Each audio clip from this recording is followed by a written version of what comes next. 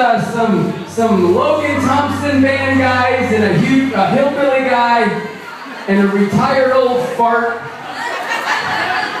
coming out here just to have a little fun for one night. You may want to ask yourself, what's these guys been up to since we were here last rocking with you? If you don't know, back on the drums, Jim Thompson and Dave Mitchie are playing with this up-and-coming young star, Mr. Logan Thompson, right over here.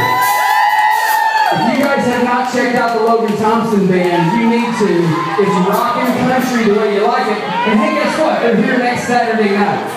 So everybody come out and check that out. Rob's been over there doing that Feudin' Hillbillies thing. If you don't haven't seen the Feudin' Hillbillies, out of Champaign. They're the number one country band in the state of Illinois. You need to check those guys out. They are amazing. Myself, I am proud to say that four weeks from today, I am marrying the most beautiful woman on the planet.